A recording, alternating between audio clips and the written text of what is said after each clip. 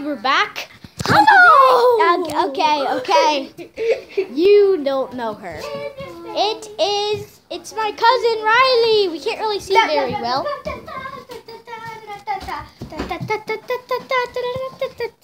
There she is. We can't really see very well.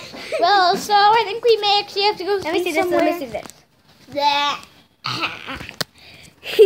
Okay.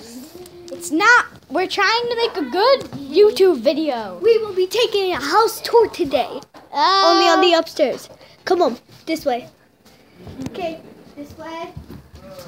I don't And know. And here is the restroom. Why are we doing this? Why are we doing a house tour? It is a very pretty restroom. It's got Marilyn Monroe on the wall.